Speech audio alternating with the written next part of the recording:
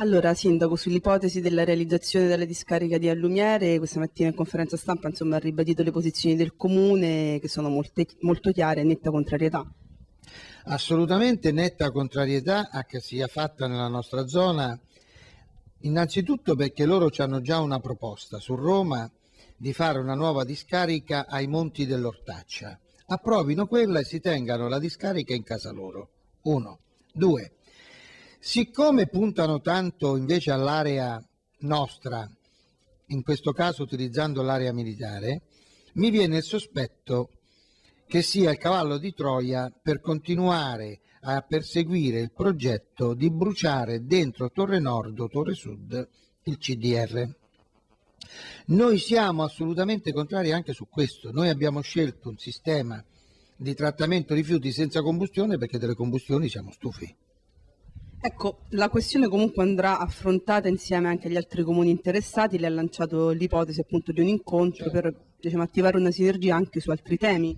Il 21 noi facciamo una riunione di sindaci del territorio con all'ordine del giorno una discussione libera in materia di sanità e quindi ospedali, in materia di rifiuti, in materia d'acqua, Senta Sindaco, mm, l'altra questione toccata questa mattina è quella dei parcheggi blu, mm, diciamo due erano le criticità, la questione relativa appunto ai residenti delle, delle zone interessate e il parcheggio dell'ospedale. Come avete deciso di affrontare queste due situazioni? Noi abbiamo risolto tutti i problemi, quello dei cittadini perché abbiamo fatto le fasce orarie, quella di mezza giornata dalle 13 alle 16, 16.30, ora vediamo, dove non si paga niente, e, e poi l'altra fascia oraria dalle 19.30 fino alla mattina alle 8 dove non si paga niente, quindi chi è residente può benissimo parcheggiare.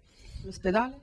Sull'ospedale ho fatto la scelta di parcheggio gratuito, però chiarimento nuovo e quello non può essere il parcheggio dei dipendenti dell'ospedale o dei medici dell'ospedale. Manderò una lettera al direttore generale nella quale lo invito a predisporre aree di parcheggio all'interno della cinta ospedaliera per i dipendenti dell'ospedale. Quello deve essere il parcheggio gratuito con disco orario per i cittadini che vanno a trovare gli ammalati.